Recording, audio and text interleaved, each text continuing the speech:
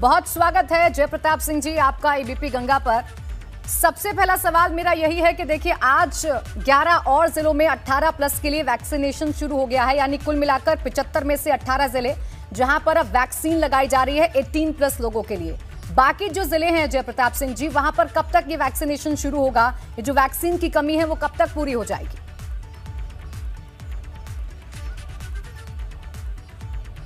Vaccine की supply जो हमको प्राप्त हो रहा है उसी के आधार पर हमने जिला चिकित्सालय में हमने अपना सॉरी हम जनपदों में अपना हमने 18 जनपद अभी तय किए हैं। जैसे आपने खुद बोला कि सात जनपद पहले और 11 जनपद अभी जोड़ा हमने। जी। ये आज से प्रारंभ हुआ है। हमको तीन लाख पचास हज़ार को, कोविशील्ड प्राप्त हुआ उसी के आधार पर हमने ये बढ़ाया है। अब आगे जैसे हमको सप्लाई और मिलेगा सप्लाई के लिए हमने पहले से एडवांस पैसा हमने जमा कर रखा है दोनों जगह कोविशील्ड और कोवै- कोवैक्सीन के यहाँ। जैसे हमको अतिरिक्त सप्लाई मिलेगा वैसे हम अपने जनपद बढ़ाते रहेंगे और इसको रेगुलर चालू रखेंगे। इसके लिए हमने ग्लोबल टेंडर के लिए भी हमने प्रा- प्रक्रिया प्रारंभ कर दिया है। 21 तारीख को ग्लोबल टेंडर हमारा खुलेगा। उसके बाद कोई विदेश से कोई भी कंपनी अगर आईसीएमआर के प्रामाणिकता पर खड़े उतरने के बाद वो सप्लाई देना चाहता है तो उस सप्लाई में कितना रेट है और कितनी डिलीवरी होगी वो हम देखते हुए उसको भी हम ले लेंगे। बिल्कुल यानी तमाम प्रयास सरकार की तरफ़ से किए जा रहे हैं। इसी बीच देखिए सवाल जयप्रताप सिंह जी व्यवस्थाओं को लेकर भी खड़े हो जा रहे हैं। हालाँकि देखिए लगातार सरकार कोशिश कर रही है और वैक्सीनेशन का ये महाअभियान चल रहा है लेकिन फिर भी जो वैक्सीनेशन सेंटर हैं वहाँ पर अव्यवस्था फैली हुई है। कई जगह की ऐसी तस्वीरें हैं जिससे सवाल खड़े हो रहे हैं कि क्या वहाँ पर कोरोना प्रोटोकॉल का पालन नहीं होना चाहिए। तो ऐसी तस्वीरें रिपीट ना हो। इसके लिए क्या कुछ तैयारी?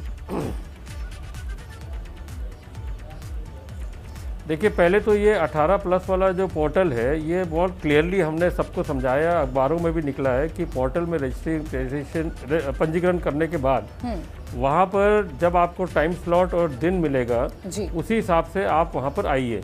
मगर बहुत सारे लोग इसके बारे में नहीं जानते हैं। तो लोग पहुँच जाते हैं यही सोच के कि जैसे हमने 45 प्लस में अलाउ किया था वॉक इन अपने आधार कार्ड को लेके वॉक इन करके अपना लगा लीजिए क्योंकि पर्याप्त मात्रा में हमारे पास वैक्सीन था। उसी तरह इनको ये लगा होगा कि हम 18 प्लस में भी चले आएँगे।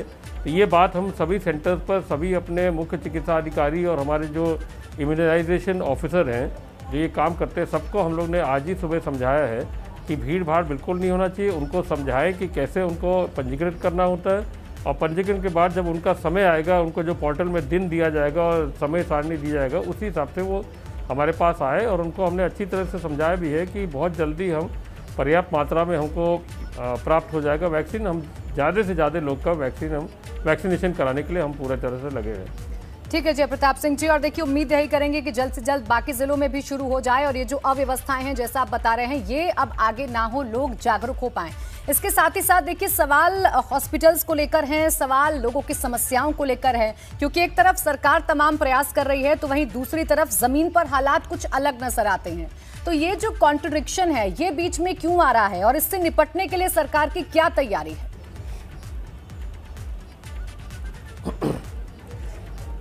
देखिए थोड़ी बहुत कमी तो सब जगह रहेगी जब आप एक महामारी के सामना कर रहे हैं। जी। वो भी वो एक ऐसा महामारी जो पिछले साल उसका रूप अलग था इस साल उसका पूरी तरह से परिवर्तित होकर उसका म्यूटेटेड रूप जो आज हमारे सामने आया है उसने हर व्यक्ति को मजबूर कर दिया क्योंकि उसके लंग्स में इन्फेक्शन होने के बाद हर एक पेशेंट को मजबूर कर दिया कि उसको ऑक्सीजन की आवश्यकता हमेशा रहेगी। इस आवश्यक इस आवश्यकता को देखते हुए हमारे पहले से ही बहुत से बेड्स जो हमने तैयार किए थे पिछले साल भी किए थे और इस बार भी हमने बेड्स काफ़ी बढ़ाए हैं उत्तर प्रदेश में। मगर फिर भी ऐसे बहुत सारे बेड्स हमारे हैं जो विदाउट ऑक्सीजन है। क्योंकि पिछले बार ऑक्सीजन की आवश्यकता नहीं थी इस बार ऑक्सीजन की किल्लत हो गई। पूरे देश में ऑक्सीजन का आपने देखा होगा पूरे देश में ऑक्सीजन की कमी हो गई। जिसके कारण से केंद्र सरकार ने ऑक्सीजन की सप्लाई को ऑक्सीजन की प्रोडक्शन को केंद्रित करके उसको आवंटन किया हर राज्य को। तो हमको भी जो आवंटन किया उसको लगातार हम उन फैक्ट्रियों से ला रहे हैं टैंकर के माध्यम से या ट्रेन के माध्यम से। और जितना मैक्सिमम हो पाता है खींच के हम उसको सभी medical college district hospital private hospital जहाँ तक हो सकता है उसको हम सप्लाई प्रतिदिन हम उसको पूरा करने का प्रयास कर रहे हैं। इसीलिए थोड़ा बहुत कभी लगता है कि जहाँ बेड्स की उपलब्धता उतनी नहीं है जितना पेशेंट्स आ रहे हैं क्योंकि वो बेड्स हमारे पास है मगर वो ऑक्सीजन से सहित नहीं है।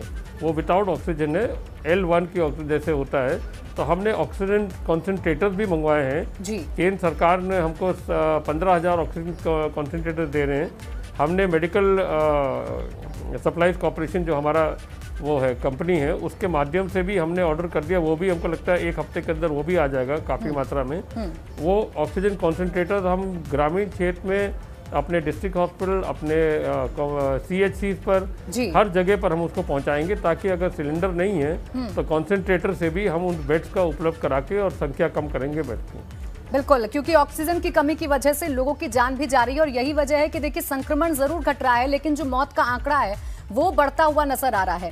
अब देखिए जयप्रताप सिंह जी, दूसरी लहर में हमने कई सबक सीखे हैं। सबक ये भी सीखा है कि अस्थायी अस्पताल अब बनाए जा रहे हैं। लखनऊ और वाराणसी में कोविड अस्पताल बनाए गए। तो सवाल ये है कि क्या डीआरडीओ के जैसे अस्पताल हम सभी पिचहत्तर जिलों में बना सकते हैं? क्या ऐसा कुछ प्लान कर सकते हैं ताकि अगर ग्रामीण इलाकों में फैलता है ये कोरोना तो राहत मिल सके लोगों को?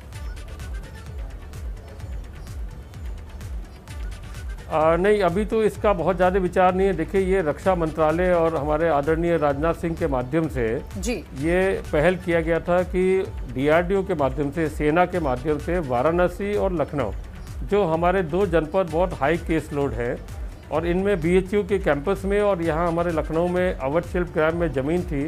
दोनों जगह बनाने में आसान थी और वहाँ पर इनके पूरे सेना के स्टाफ डॉक्टर्स सहित पूरे पैरामेडिकल स्टाफ को लेके उन्होंने मैनेजमेंट किया है और बहुत अच्छा काम कर रहे हैं जिसकी वजह से हमारा लोड भी काफ़ी कम हो गया है।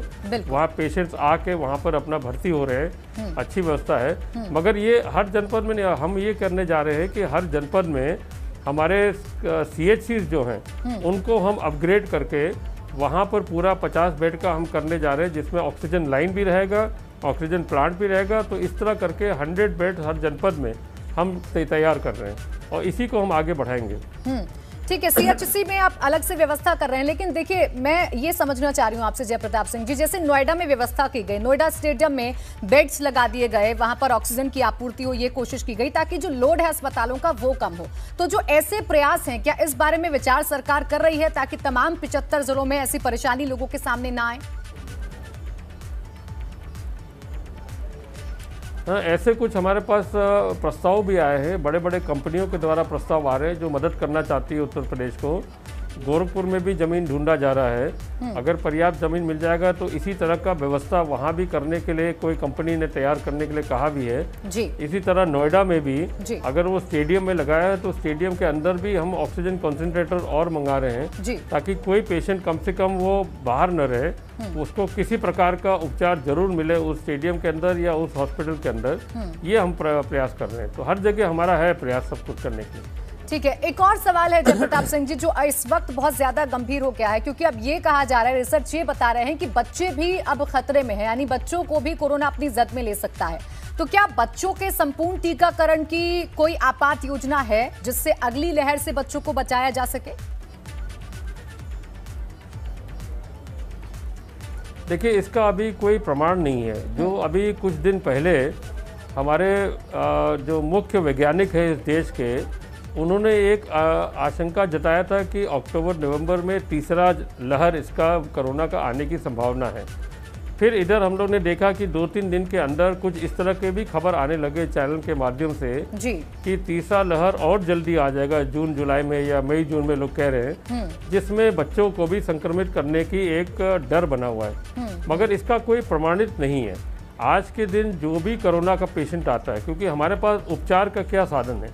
एक वैक्सीनेशन जो सबसे बेस्ट तरीका है और दूसरा हम अपने आप को अपने मास्क लगा के, हमेशा मास्क लगा के अपने वो कोविड प्रोटोकॉल को हमको मेंटेन करना है तो हम उससे तो काफ़ी चीज़ों को अपना बचाव तो हम कर सकते हैं। बाकी जो दवाइयाँ जो प्रमाणित हुए इस पूरे डेढ़ साल के अंदर वैज्ञानिक द्वारा डॉक्टर्स की टीम के द्वारा, विशेषज्ञ के द्वारा, उसी का हम उपचार करते जाते हैं और उसी से कहीं ठीक भी हो जाते हैं कहीं नहीं भी ठीक होते। जी। जैसे इस बार का जो हम लोगों ने देखा है कि पूरा लंग्स को संक्रमित कर दे रहा है। पिछले बार लंग्स को नहीं संक्रमित किया था।